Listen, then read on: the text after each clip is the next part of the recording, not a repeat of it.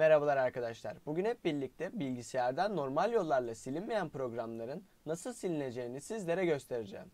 İlk olarak başlat menüsüne tıklıyoruz. Ve hemen ardından run veya çalıştır yazıyoruz. Ve enter'a tıklıyoruz. Karşımıza gelen çalıştır üzerindeki aç bölümüne regedit yazıyoruz. Ve enter'a tıklıyoruz.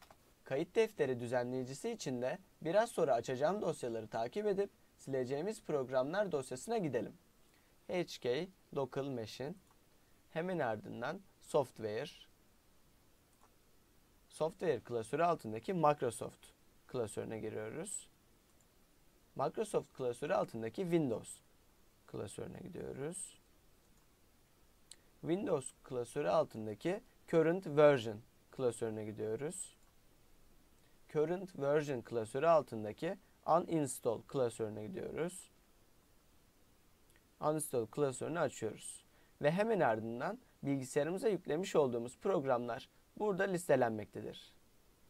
Eğer program dosyası karmaşık isimde yer alıyorsa programın ismini klasörün üstüne tıkladıktan hemen sonra Display Name karşısındaki yerden öğrenebilirsiniz. Onun dışında yüklediğimiz programların ismi zaten burada açık bir şekilde yer almaktadır.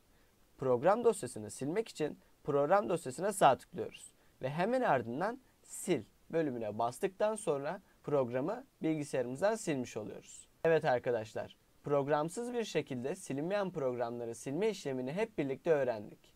Eğer video işinize yaradıysa kanala abone olup videoyu beğenebilirsiniz. Şimdiden hepinize teşekkür ederim.